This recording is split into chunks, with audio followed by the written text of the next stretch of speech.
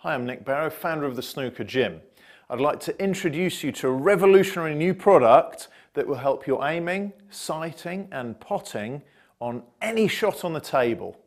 It's called the AimFrame.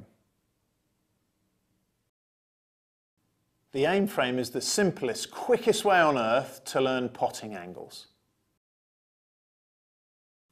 It is a potting template that helps you see the correct angle to pot the ball taking into account the frictional effect between the balls known as impact throw.